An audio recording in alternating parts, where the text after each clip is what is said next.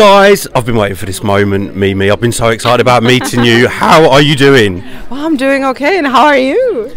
Uh, honestly or professionally? professionally, I'm fantastic.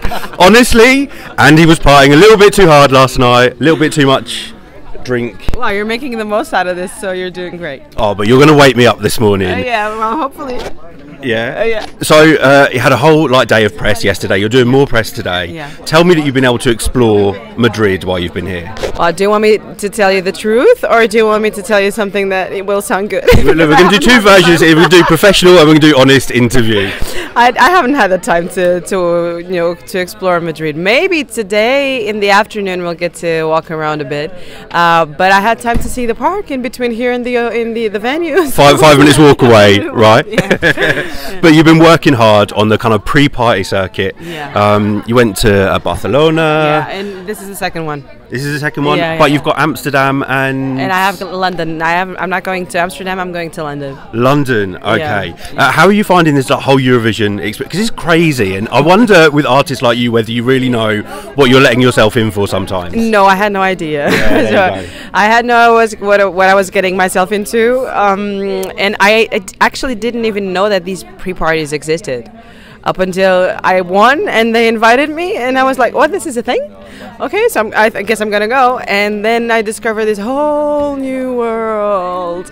Um, but you know, it's a, it's a fantastic one because you know I've been super well treated. I feel a lot of love coming my way.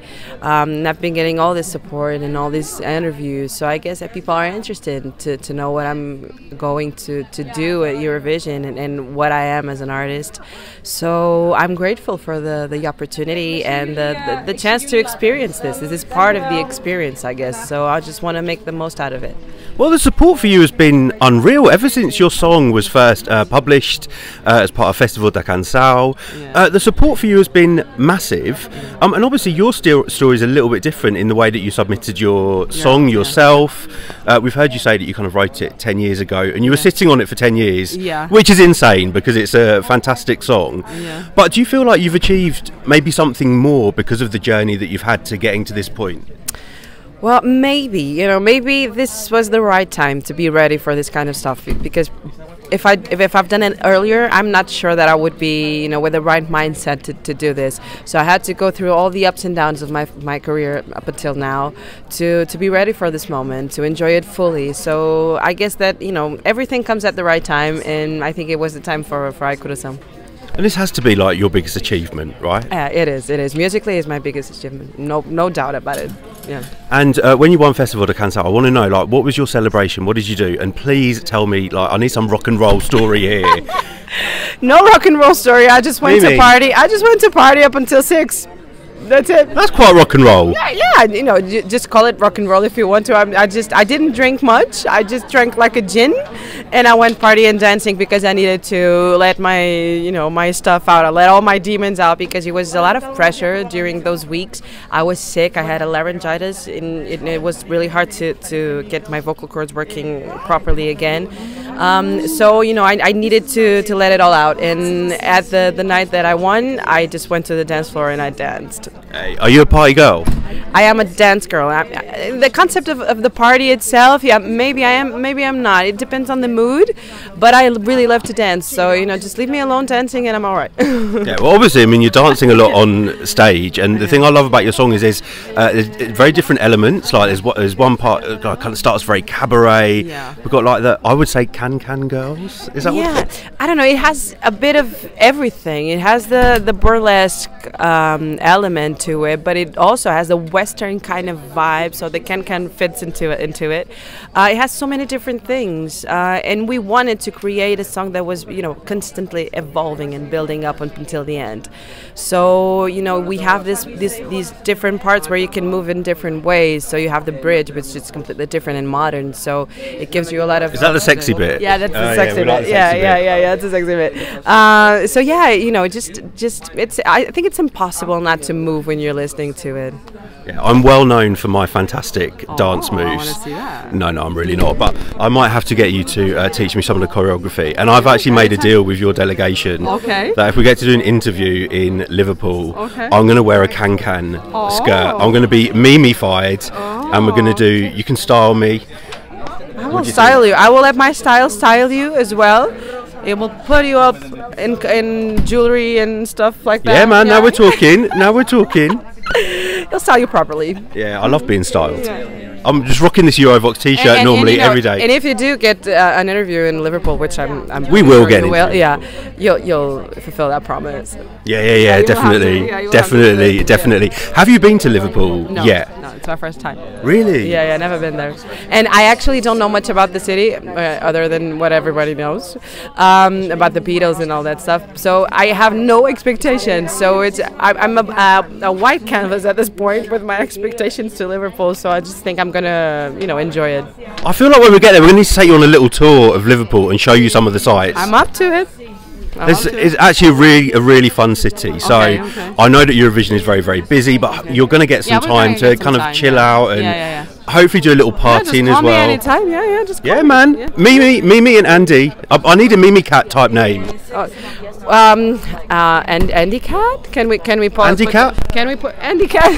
I was just thinking about the Andy Cat. Andy Cat and Mimi Cat doing Liverpool. Yeah. That sounds like a, a dirty movie. Cat double. Yeah, yeah, yeah, yeah, yeah. yeah. But um, other than kind of getting ready for Liverpool, are you going to have some time to kind of chill out? And how do you keep yourself grounded? I Because you don't seem sometimes. nervous. You're very like chill. Well, you know, I'm I'm a grown woman, so I've learned to manage my emotions uh, in a balanced way because I have two kids. I'm a mom.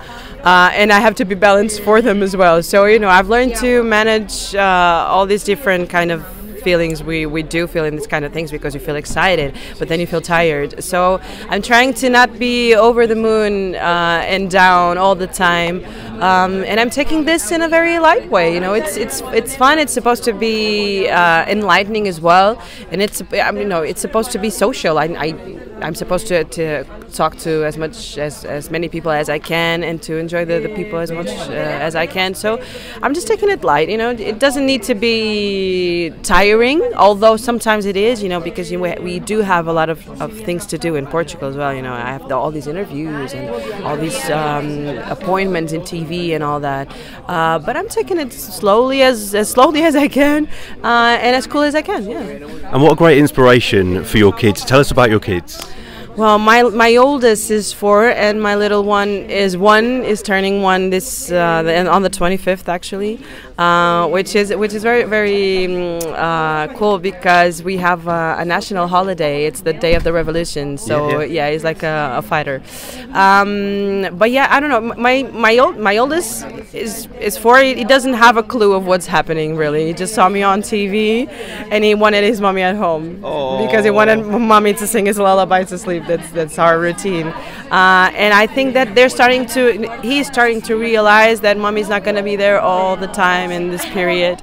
Um, but yeah, they're they're they're cool with it. You know, and they have a great dad. So yeah, I'm just I'm just you know relaxed. And when they're older and they know kind of what you did at Eurovision, you're in such a select group of people Yeah. now. It's going to be so inspirational for them to see, and they're going to be.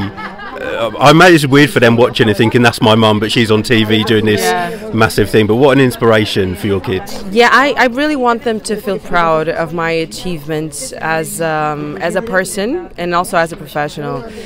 And one of the the, the things that I thought about uh, when I submitted my own song was that, well, do I want to keep you know waiting to be invited and waiting for for life to happen, or do I want to you know take a, an active part on it? Um, and that's something I want to pass on to my kids. You know, just if you want something, go grab it. Don't, just don't wait for it to come to you. Um, and what it got me so far, you know, is, is amazing. So I want them to actually know, okay, so when you go and you try to grab your stuff, it works. Uh, so just you know, just go for it, and hopefully they'll they'll be proud of what I'm doing. Oh, what a fantastic message to end on, guys! But before we do wrap up, you've got so much support out there, not only from Portuguese fans, but lots of people all around, well, the world, really loving your song. Have you got a message for our viewers and all your supporters? I absolutely do. I've been getting all this love from you guys, so I want to thank you so much for you know for this opportunity, really, for believing in me and you know supporting my song, sharing to it, dancing to it, having fun to it. That's all it is about. So thank you so much. Keep supporting. Watch the performances in Liverpool and you know just everywhere if you want to. Just be aware of this acting. Uh, uh, at the at these parties because it's gonna be amazing. And you know, just keep cheering for us. We need you. Okay, so mwah, big kiss to you all. Oh, Mimicat, thank you so much, and we will catch up with you again later. Yeah, yeah. Yeah. I'm gonna. We're, go- we're going partying. Mimi, thank